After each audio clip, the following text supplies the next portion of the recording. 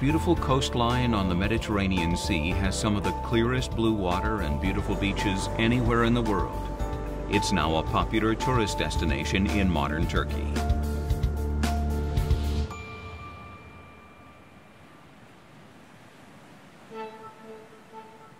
In this program, historian and expert on this region, Dr. Mark Wilson, leads us on a journey to discover the truth about the man we call Santa Claus.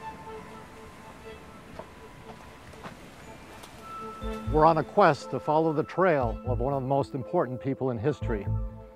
At times that trail is almost non-existent, but we're going to do our best to reconstruct the lifetimes and legacy of someone who is a household name all over the world today.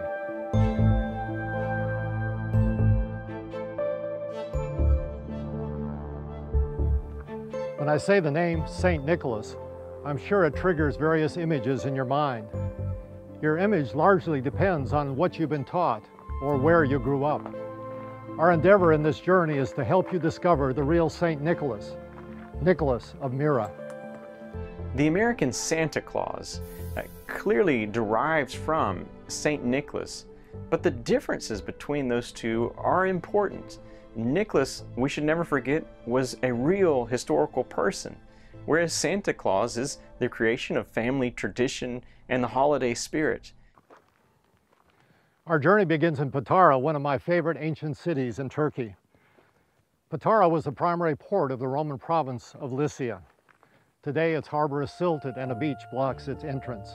But in the first century, the Apostle Paul landed here on his third missionary journey. And that's very important to our story, which I'll explain later. The region of Lycia was in southwestern Asia Minor. Patara was once the capital of the Lycian nation, but fell to Alexander the Great in 333 BC. Then, in 167 BC, Lycia came under Roman rule. Ports in this region of ancient Lycia were major trade routes for the Greeks and Romans. The Emperor Hadrian built large granaries here to house wheat that was transported all the way from Egypt to Rome. But interestingly, the Romans granted the city its freedom, probably because they recognized its sophisticated manner of democratic government. One of the visual reminders of the Lycian civilization today are the tombs. Can you tell us about this interesting people? Yes, it's all around us actually, and uh, we, we see them all the time, not only the rock cut tombs, but also freestanding ones. And it's very interesting that some of the epigraphy on these tombs has been read, and it says, if anybody who is not of this family uses these tombs, may they be cursed forever. So we know that uh, they also believed in life after death, definitely. And the freestanding tombs are built exactly like a house, a house made of logs. And still today in the mountains, we have small wooden structures like this where they keep the hay, which are exactly like these tombs.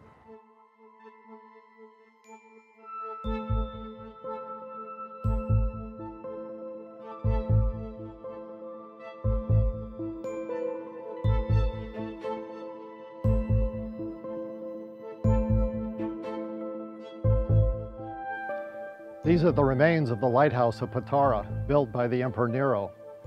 Until recently, it was buried in the sand, but as you can see, it's now been completely excavated. Archaeologists believe that its height was 100 feet tall and that it was built in AD 64, a few years after the Apostle Paul landed here. Today, it serves as an iconic reminder of the importance of this forgotten city.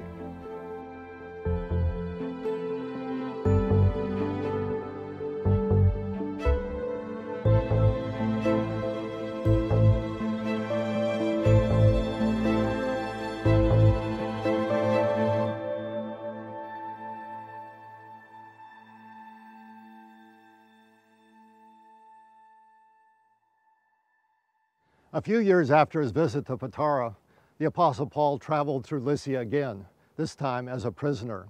Here at Andriake, the port of Myra, his Roman guard transferred him to an Alexandrian grain ship bound for Rome. It was this same vessel that was shipwrecked off the coast of Malta. Threatened by the growth of Christianity, the Emperor Nero began a period of great persecution of Christians, and in AD 65, Peter and Paul were executed in Rome.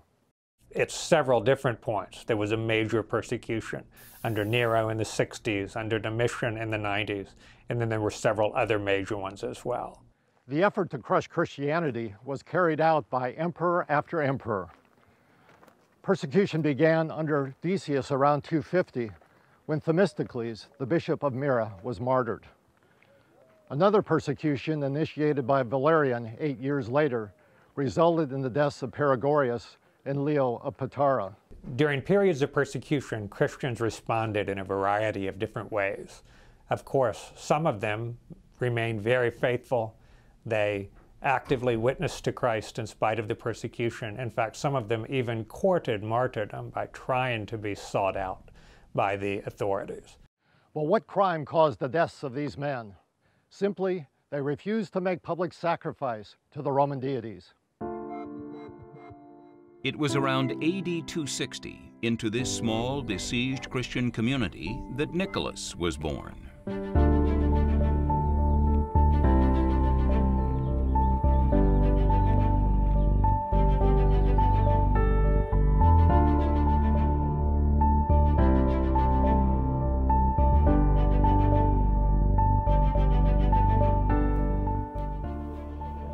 Nicholas was born in Patara in the mid-3rd century. However, the exact date and year of his birth are not known. But he certainly was born into a vibrant Greek community. In fact, his name in the Greek language has a profound meaning, victory of the people. Ahead, we'll see just how Nicholas lived up to that name.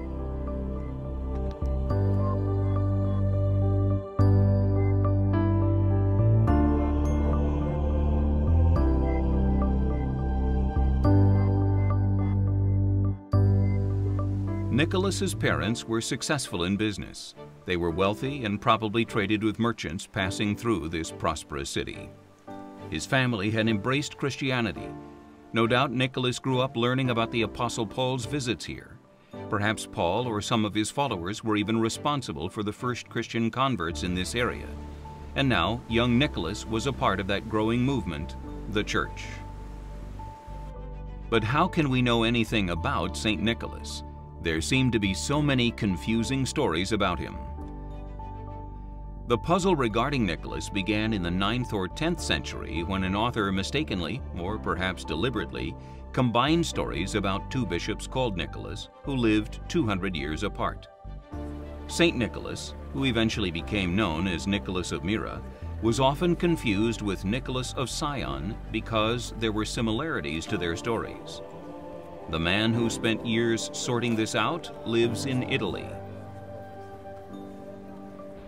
The St. Nicholas Study Center in Bari, Italy was founded in 1990 by Dr. Gerardo Cioffari. Dr. Cioffari is a Dominican priest whose studies in recent years have brought clarity to our understanding of the real St. Nicholas. Cioffari has been able to unravel the confusion between St. Nicholas and Nicholas of Sion. And when we have discovered other manuscripts of St. Nicholas of Zion, we have now the possibility, without mistake, to distinguish what is St. Nicholas of Myra and what is St. Nicholas of Zion. But experts in the last century weren't entirely convinced that Nicholas of Myra was even a real person. The three names, uh, Charles Jones and Gustav Anrich and then Carl Meisen, who really studied the evidence and the material for Nicholas, all came away saying, we don't know that we can even trust that there was a real person named Nicholas who actually existed. This is the importance then of uh, Father Gerardo Cioffari, who in the 1980s reopened the case and reinvestigated those same documents and far more than those documents and he was able to reassert that there indeed was a historical person named Nicholas who lived and, and did many of the things that we have attributed to him. And he was able to establish that with a great degree of historical certainty. Dr. Cioffari's research has revealed a distinction between the two Nicholases in ancient Greek texts. It's very clear. Agios uh, is a saint, um, bishop, or normal saint, so to say. Um, Osios is a saint for monks. After the distinction of two saints, we can say that our St. Nicholas is Agios, the other one is Osios. Cioffari believes that the distinction between the two men can also be seen by examining events in their lives. For example, Nicholas of Zion went to Myra in the occasion of the feast of St. Nicholas of Myra. it was not possible to, to be the per same person. Now we have St. Nicholas of Myra, a real concrete person interested in a very real question of uh, human life. The other one, St. Nicholas of Zion, was a monk.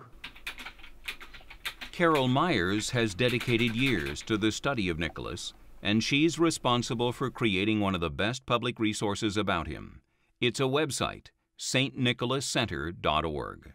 St. Nicholas stories and legends have grown up around a real man. And over time, those stories have enlarged and shifted, but they're rooted in the character of the man. And if it hadn't been that there was something so extraordinary about this person, there never would have developed the interest, the devotion, and the spread of his fame and legends and stories.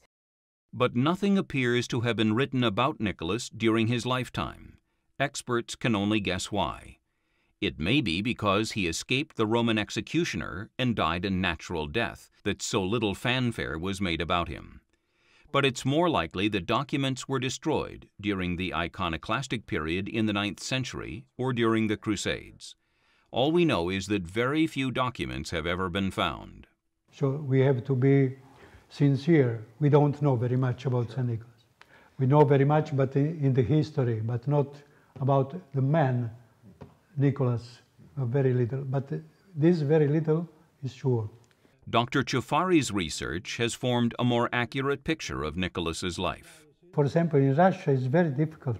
After my conferences in Moscow and Kiev, they've started to write new lives, taking away Nicholas of Zion, but it's not easy because uh, iconography, even here in the ceiling of the church, there are many, many apocryphal Nicholas of Zion episodes. So there is a, a real existential problem uh, between iconography that we have to take away all many of these episodes. Cioffari says we need to look at all the evidence with a critical eye. While some details come from factual sources, other facts with historical value were handed down by oral tradition. And some writers obviously took great license and embellished the truth. In the life that we know now, we have to distinguish the two episodes of the Praxis Stratelatis and the other. These two are historically sure. The other historical sure only in their, um, in their core, not in the details. So what do we know about the life of St. Nicholas? We've established that he was raised here in Patara by a Christian family. It's speculated that his parents died when he was young because of an epidemic or a plague. But we know for sure that his parents left him a considerable sum of money. The event that probably had the most to determine how Nicholas developed was the death of his parents when he was still young, whether he was in his late teens or early 20s.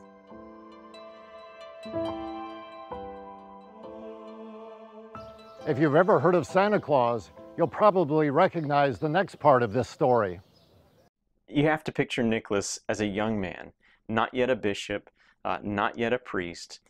He was looking for purpose in his life and for meaning and something to do with his life when he heard the story of a man in the city of Patara who had recently lost everything. He was uh, financially ruined. He had three daughters, and they were of marriageable age. But in that time and that part of the world, if you didn't have money for a dowry, the payment that a woman would have to bring into a marriage, you could not be married. And so these three daughters couldn't marry. And without any means of providing for his daughters, the father struggled with the idea of sending them into prostitution. Nicholas decided to intervene. He didn't want to be known or, or, or, specially called out for his acts of generosity.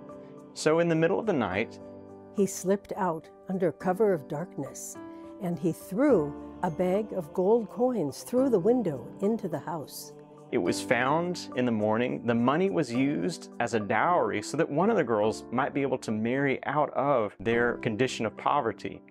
Uh, when Nicholas saw how the money was used and how grateful the family was for that act of generosity, he decided to return. Nicholas repeated the action two more times so the other daughters could also be married. But the last time, the father had hidden in wait to discover who the benefactor was that was helping his family. And we heard the bag bang against the floor. He sprung up, ran out, and grabbed hold of this anonymous gift giver and spun him around.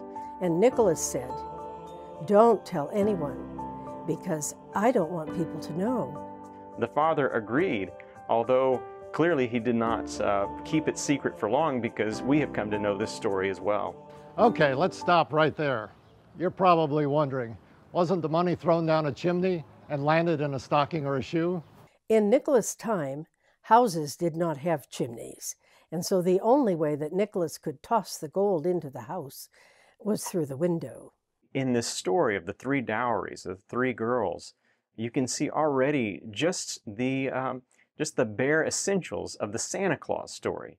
Uh, the idea of a nighttime anonymous gift giver uh, and arriving and delivering uh, gifts maybe through an open window. And, and in some later versions, Nicholas finds that the window is locked. And so he has to drop the bag of gold down the chimney where it lands in a stocking that's hanging there uh, by the fire to dry.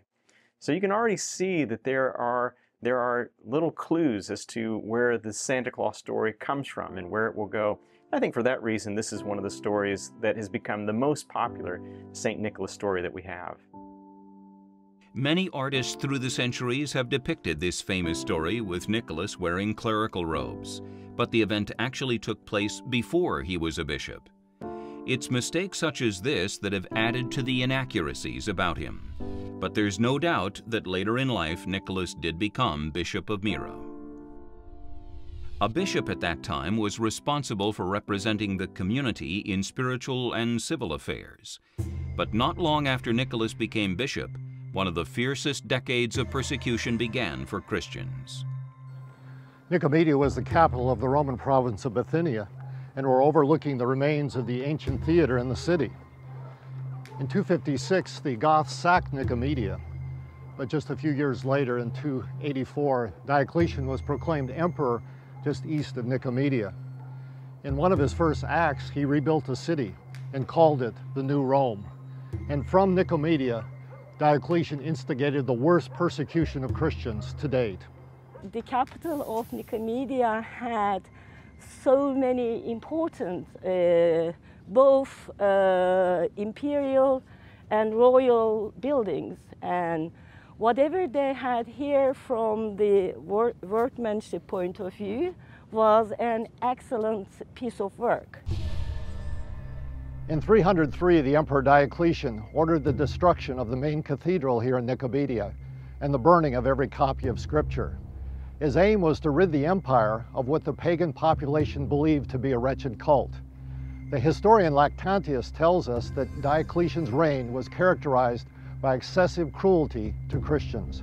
When the Emperor Diocletian issued the actual edicts of persecution in the year 303, he issued them from Nicomedia.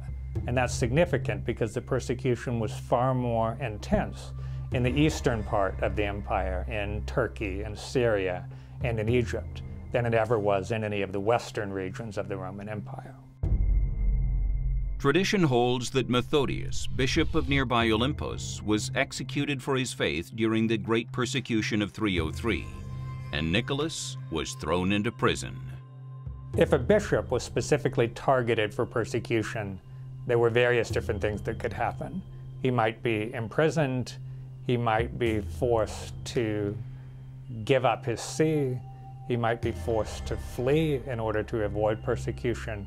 It is possible that he might be executed, although in most cases that was relatively rare.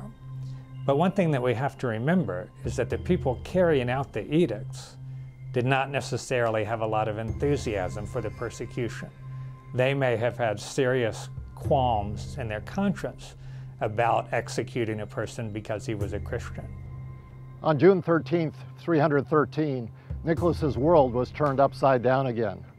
On that very day, in a power play, Licinius, the new emperor of the Eastern Roman Empire, issued a letter from his palace in Nicomedia. It was sent to the governor of every Roman province, including Lycia. The letter that Licinius wrote in the year 313 is normally regarded as granting freedom of religion to Christians. It did that, but it actually did more than that, because it gave to every person the right either to exercise the Christian faith or to exercise another religion. By naming Christianity specifically, the letter elevated Christianity from a persecuted status to a favored status within the Roman Empire.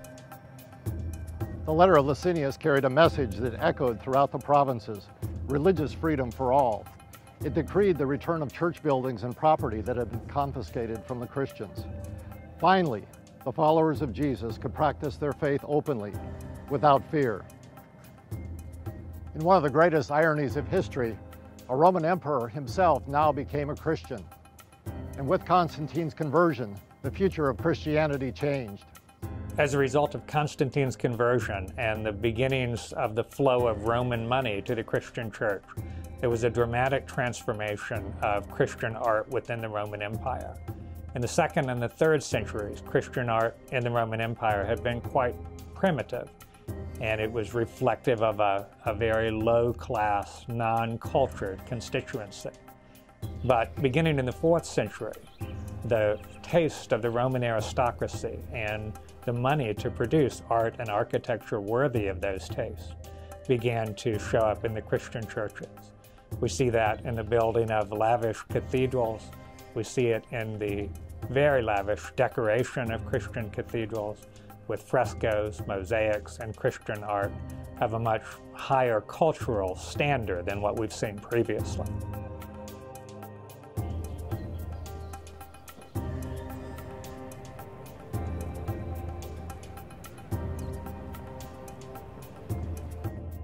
Under Constantine, an era of church growth began and the use of buildings for worship expanded quickly. Now, for the first time, Christian leaders had the luxury and the leisure to study and to write extensively. It's hard to write commentaries and theological treatises when you're running for your life from the authorities. But now that Christianity was protected, it led to a great golden age of Christian literature. And many would argue that the fourth and the fifth centuries were the greatest age of theological literature and scholarship in the entire history of the Christian church. In the midst of it all, bishops became men of influence. Nicholas embraced the opportunity and used his position to combat injustice. One such episode is told in part by Eustratius of Constantinople in AD 583. He tells the story of three innocent citizens of Myra who were condemned to death. The story of the three dowries is certainly the most well-known story today. But the oldest story about Nicholas is actually called the Praxis de Stratelatis. It's the story of the military officers. It came into circulation uh, in the early 500s. It's the first story known to the Latin-speaking audience. Uh, it's the story that appears on many murals and uh, frescoes in churches, but it's a story not well known today at all. The Praxis de Stratelatis, which in English means the practice of military officers, was written by an anonymous Greek author around AD 400. The Praxis tells the story of three army officers and their troops who had been sent by the Emperor Constantine to quell a revolt in Phrygia. During their journey, they harbored their ship in Andriake, the port of Myra. When the officers were visiting Bishop Nicholas, news came that a riot had broken out because of stealing. In the chaos, three innocent civilians were accused and arrested, and the local governor ordered them to be put to death. When Nicholas heard this, he rushed to the scene, accompanied by the three army officers. They arrived just as the executioner was raising his sword. Fearlessly, Nicholas grabbed the sword from the executioner and threw it to the ground. Loosening the men from their chains, he set them free. What happened next gives us an insight into what kind of person Nicholas had become. In a word, courageous.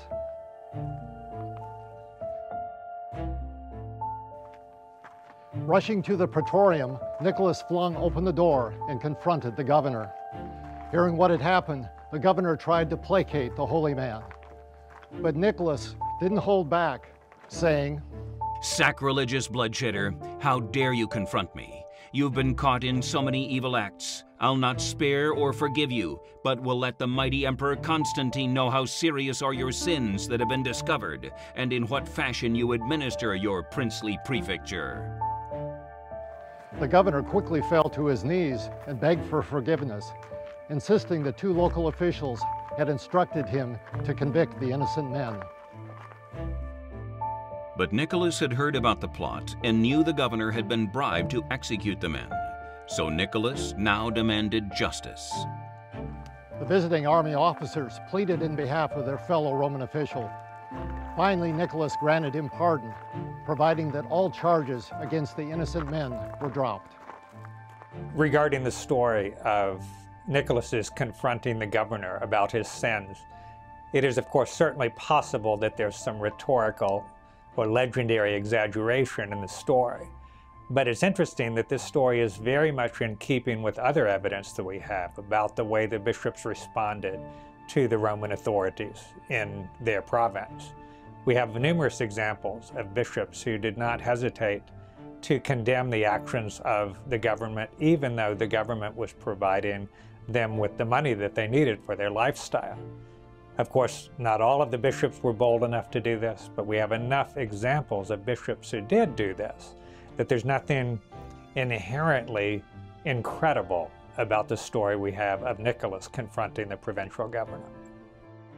Ironically, months later, the same three army officers were falsely accused in a plot against the emperor. However, according to the author of the Praxis de Stratelatis, Nicholas appeared in dreams to both the accuser and Constantine, warning them of severe consequences if the officers weren't released. You can imagine that this was received by the Emperor Constantine with either great fury or fear. He had the officers brought before him to explain the phenomenon. After describing what they had witnessed in Myra, the officers told Constantine that they had prayed to Nicholas for help. Hearing this, Constantine ordered the soldiers to return to Myra bearing gifts and to thank Nicholas for their release. According to Dr. Cioffari, the detail in which the Praxis de Stratelatis is written makes it an invaluable historical document. We cannot write a real life of St. Nicholas because the only episode that I believe really historical rooted is the Praxis de Stratelatis. The Praxis de Stratelatis is the oldest fragment that tells us about Nicholas. And it was written about AD 400. And so that is really quite close to Nicholas' time. And it would have been part of a larger life of St. Nicholas. And unfortunately, that life didn't survive. But surely the writers who wrote later probably had access to that life. Today I'm standing in the Church of the Hagia Sophia in downtown Iznik. In this well-preserved basilica, the Seventh Ecumenical Council took place in 787. As the church began to grow in the fourth century, a theological dispute arose about the divinity of Christ.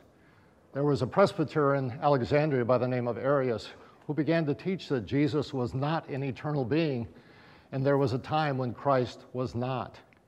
The Son was therefore a created being and thus not equal to the Father. To settle this dispute, Constantine summoned all the bishops to his summer palace.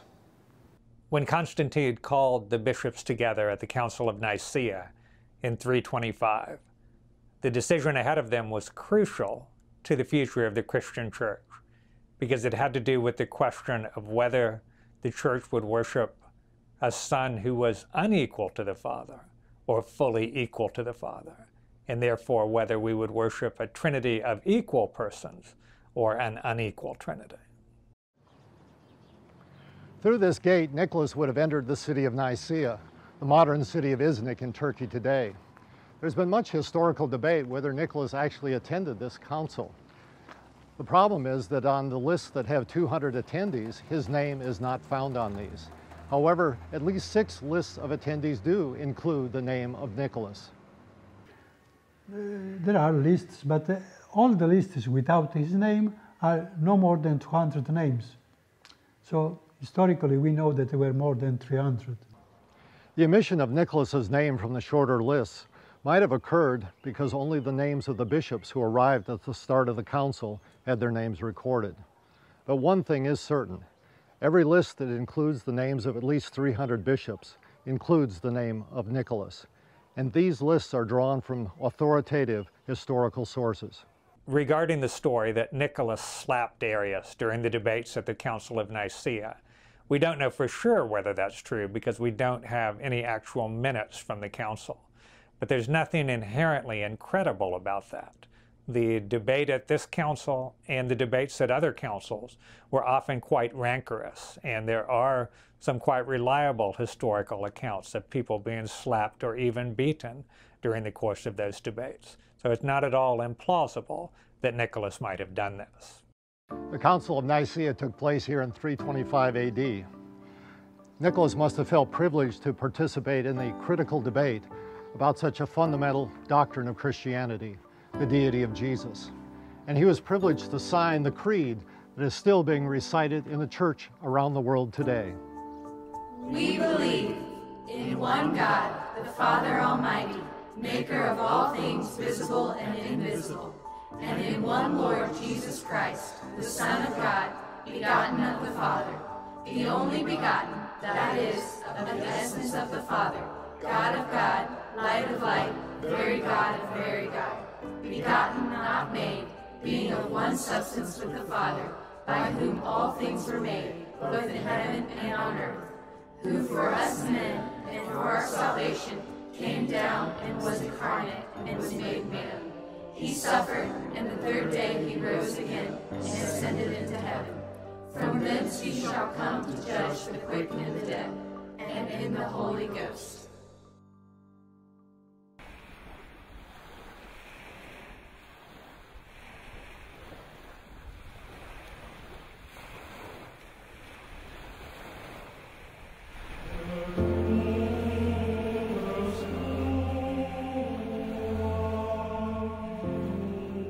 Nicholas would have been in his 60s when he attended the Council of Nicaea. Tradition says that he was one of the oldest of the attendees. As a confessor, he could show the council participants the marks in his body received during the era of persecution. Confessors are people who, when faced with persecution or torture, do not renounce their faith. Nicholas was imprisoned in the time of Diocletian and did not renounce his faith, and so he is regarded as a confessor. Most people who were named saints in the years of the early church, it was because they were martyrs to their faith and had been killed. Nicholas was regarded as a saint because of the quality of his life rather than the way he died, and that makes him an exceptional saint coming out of that era. Not much remains today of Constantine's palace on Lake Iznik. The water level is much higher than it was in the 4th century. We have just a few stones remaining of the foundation of the palace, but recently archaeologists have found the remains of a church underwater nearby.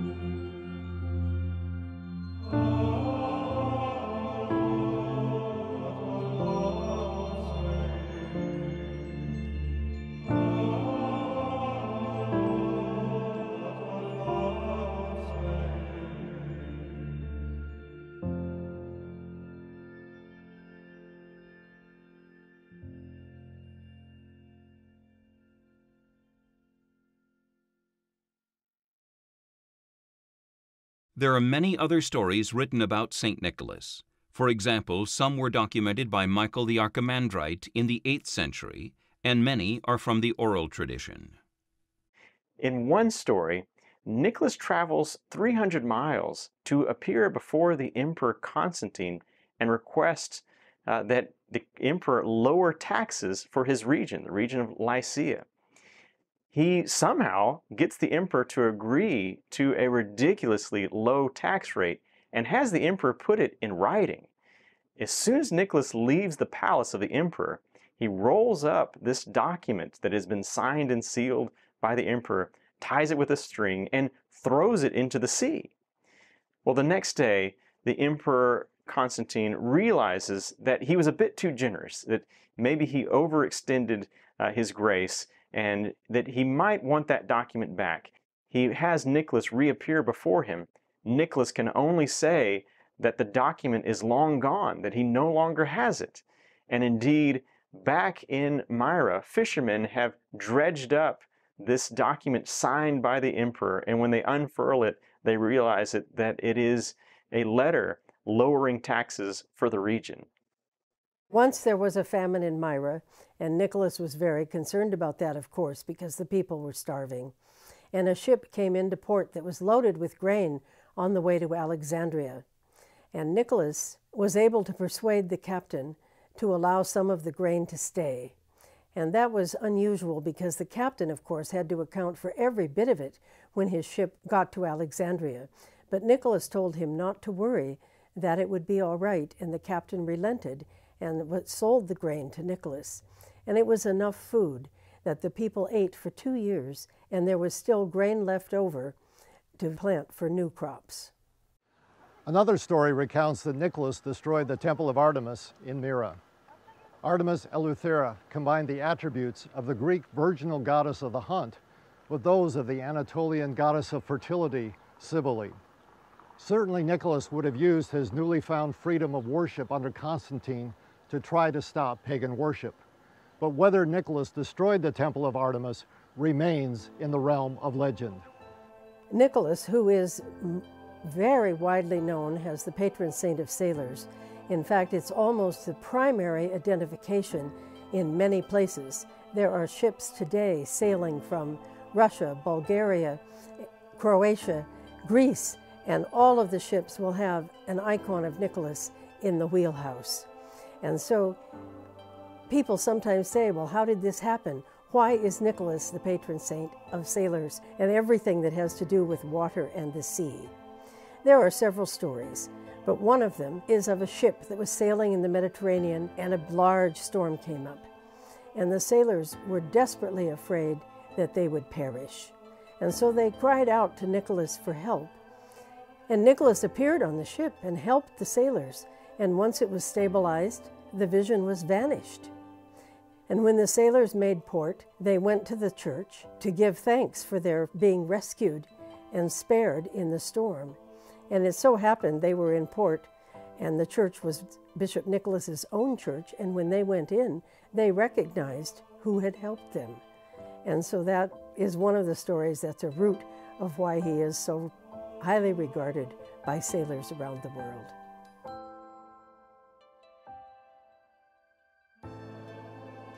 There can be no doubt that the life and pastoral care of Nicholas had a transforming effect on the local population. His dynamic personality, boldness, and deep commitment to Christ made him a legend even in his own day.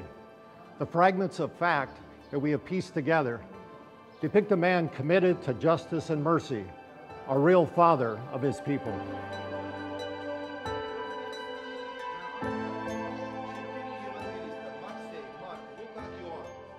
Ancient sources confirm that Nicholas died here in Myra on December 6th. What none seem to agree on is the year when he died. The undeniable fact that a great man of God named Nicholas lived during Constantine's reign is supported by the use of his name after his death. As his fame grew during the 5th century, parents everywhere began to name their children after him. This church, built in Myra to commemorate Nicholas, dates to the 5th century. The basilica was built in the shape of a cross and housed the tomb of the saint. Uh, we have discovered, and other archaeologists have discovered, many monasteries in the hills around Lycia, dating back to the 5th century, which is an indication that the area was very special. And we believe the reason is that St. Nicholas lived there and became famous for curing people of their ailments. Dr. Vera Bulgurlu is one of the archaeologists excavating the church site. Can one of these sarcophagi in the church be associated with St. Nicholas? Definitely, it's in the burial chapel in this outer narthex. And uh, the lid is very interesting because it has holes in it. It has two rows of holes because it means there were so many pilgrims that maybe two at once could pour oil through there. And they believed that once the oil touched the relics, and then they collected it on the other side and put it in their pilgrim flasks, that this would uh, cure them. There are some stories you will see in the frescoes in his life cycle which, in which these miracles are recited. But you must remember, all these paintings are 11th, 12th century. It's very difficult to, to, to have proof of these miracles, but you know, mostly people recite these things uh, from family to family. So we, we believe that, uh, especially as a Greek Orthodox, I mean, I believe that he certainly did perform uh, miracles. This is a main uh, idea of any pilgrimage to visit the place, which about I read, and uh, just to renew in my mind to be more uh, stronger and more true Christian. Today, the church has become a popular site for pilgrims from all over the world, especially for Russians. This statue of Nicholas here in the courtyard was donated by the Russian government in the year 2000. This is a central idea in church to imitate Christ. And Apostle Paul writes to Christian, imitate me like I imitate Christ. This is um, the same uh, in my life also, in other priests, to imitate St. Nicholas as he imitated Christ.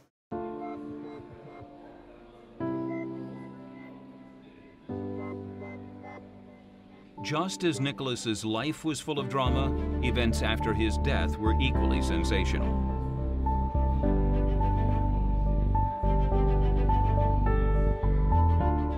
For centuries, his remains lay peacefully here in his tomb in Myra, but a mysterious liquid described as myrrh oozed from the marble sarcophagus. Some believe it seeped from the saint's bones. And it's this point that takes us back to Italy. You see, the city of Bari had a problem. During the Norman conquest, the city lost its role as the capital of the Byzantine province of southern Italy.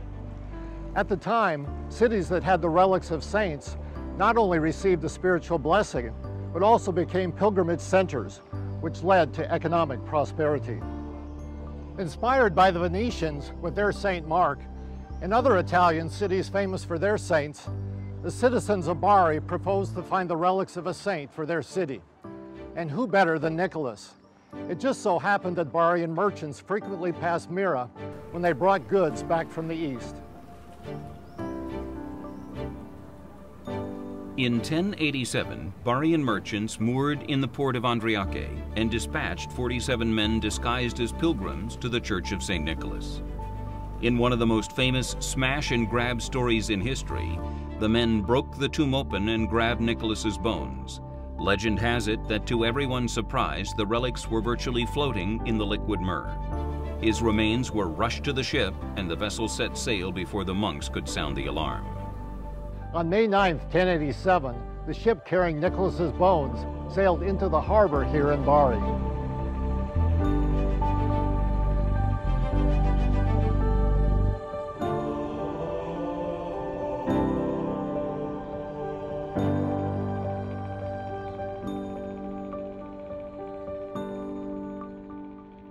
So Bari got its relics, and its prestige still continues today. In fact, Bari is often referred to as the city of St. Nicholas, and Nicholas is sometimes called Nicholas of Bari. Today, the Basilica of St. Nicholas in Bari safeguards the saint's relics. Four reinforced concrete blocks ensure that no one is ever going to steal these bones again. A small hole in the upper front panel of the sarcophagus is unsealed on the evening of May 9th every year in order to extract the myrrh. It's diluted with water and made available to pilgrims. Over the centuries, the fame of this beloved saint has grown across the globe. But is there anything else we can learn about the real St. Nicholas? It just so happens we have a good idea of what he looked like. In the 1950s, while work was being done on the crypt, the Vatican allowed measurements and x-rays to be taken of Nicholas's skull and other bones. Then, in 2004, a facial anthropologist was engaged to construct a model of the saint's head. Dr. Caroline Wilkinson is known worldwide for her forensic facial reconstructions. This project was a bit of a challenge for me because it involved uh, producing a 3D model from effectively two-dimensional data, so in terms of images and uh, craniometrics, but also because it involved uh, a significant historical figure, um, it became a really interesting project to both to have the challenge of creating the 3D model of the skull and then for us to be able to depict what St. Nicholas looked like. This facial reconstruction helps us know what the real Greek Santa Claus actually looked like. But today we have an even better representation. In 2014, using the latest 3D interactive technology, Dr. Wilkinson updated the facial reconstruction. I think textured in a different way, what we've got now with our second uh, depiction is basically the same face with some uh, modern uh, changes, but with a completely different uh, texture system that's based on what we know about those people in that stasis from that period of time from that part of the world. So it, the end result should be more reliable and less based on this Santa Claus image. The result is a man in his 60s with a long beard, round head, and square jaw. St. Nicholas also had a severely broken nose that healed asymmetrically. It may be that this happened during his time of persecution you're looking at a facial facsimile of the real St. Nicholas. So there's damage to his nasal bones between the eyes, um, which is consistent with, with more than one breakage and then that healing. So it's been pushed in one direction and has reformed and healed slightly wonky. Uh, that would be consistent with a blow to the nose. How that happened, I don't know, that would be speculation. It would be consistent with a blow to the nose through somebody's fist, could be walking into a post, it could be falling off a horse. There may be a number of ways that how that happened. I think it's always really important with famous historical figures to to get a sense of what they were really like as a person. And when someone is as important as St. Nicholas in terms of how he's been depicted throughout the years, having something that's based on science rather than on religion or on propaganda is quite interesting, I think. So we get a sense of what his face was like. There's some speculation in relation to his facial hair, etc. But what we're getting is a sense of the real person rather than the stories that are associated with St. Nicholas.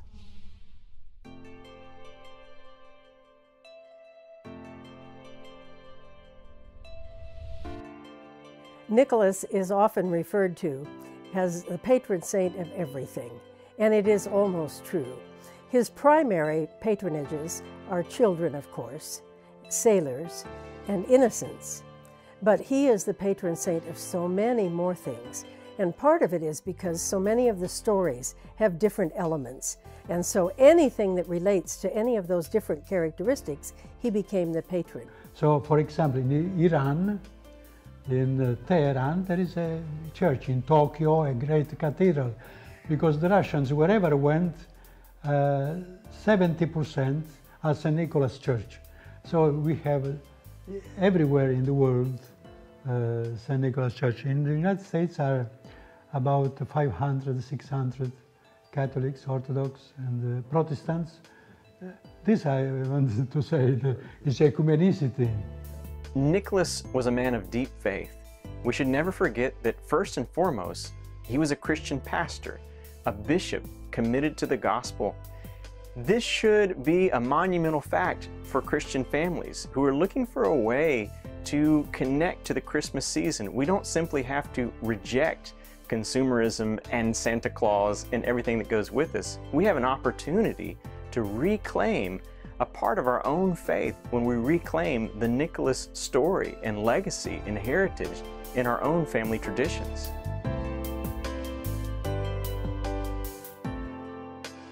As children everywhere eagerly await the coming of that mythical man on Christmas Eve, the real St. Nicholas has left us a legacy to treasure far more than just colorfully wrapped presents.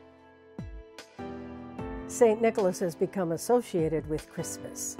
And that's actually a good thing because St. Nicholas helps to bring a focus to Jesus, who, of course, is the center of Christmas. St. Nicholas does this by pointing beyond himself and to encouraging people to understand that it really is more about giving than about getting. It's more about compassion than consumption. It's more about need than greed. St. Nicholas helps people to focus on what is really the center of Christmas because everything St. Nicholas did grew out of his faith. The legacy of Nicholas is his generosity. We have to keep going back to the story of the three dowries. Uh, Nicholas had no reason to get involved. He didn't know these people, he didn't owe them anything, and yet he decided to act. That should inspire us to get outside of our comfort zone, in our familiarity, to find those people in our community who really need help. And especially during the Christmas season, it's an appropriate time to look for those opportunities. Nicholas is often viewed as a jolly, sentimental figure, but history tells us otherwise. He was a bold, decisive man of faith who confronted the issues of his day. If he were alive now, he would be concerned with today's issues, hunger, human incarceration, trafficking, slavery, the abolition of the death penalty, even tax abuse. Now that's something to tell your children.